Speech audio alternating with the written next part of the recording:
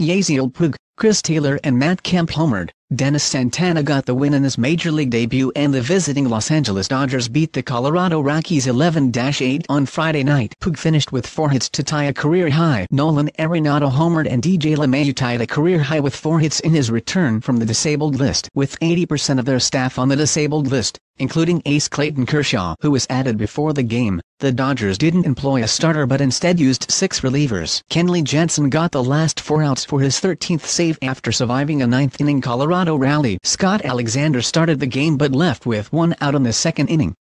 LA led 2-1 when Santana made his major league debut in relief of Alexander, and the Rockies jumped on the rookie. With two outs, Chris Iannetta doubled down the left field line. Santana then hit Tyler Anderson, and LeMahieu singled to drive in Iannetta. Charlie Blackmon's triple knocked in Anderson and LeMahieu to give the Rockies a 4-2 lead. Santana, 1-0, atoned for his rough start with a bases-loaded double in the fourth to tie it, and Taylor's sacrifice fly gave LA a 5-4 lead. The Rockies tied it in the fourth on LeMahieu's third single and took a 6-5 lead in the fifth on Gerardo Parra's RBI single. The Dodgers rallied to take the lead on Colorado's bullpen. After Brooks Pounders, 0-1, started the sixth allowing a single and a walk, Taylor hit a ball into the Rockies bullpen to give LA an 8-6 lead. Justin Turner doubled before Scott Oberg relieved Pounders, and the Dodgers added another run on Logan Forsythe's sacrifice fly to make it 9-6. Arenado led off the seventh with his 12th homer to get Colorado within two runs. But Puig's sixth home run of the year in the ninth,